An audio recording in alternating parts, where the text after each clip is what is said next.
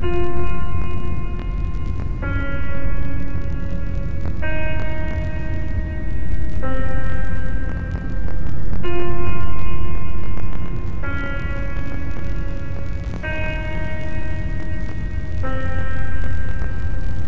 soul shall find itself alone mid dark thoughts of the gray tombstone.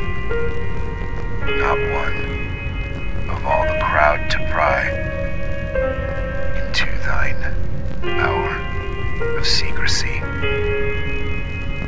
Be silent in that solitude, which is not loneliness, for then the spirits of the dead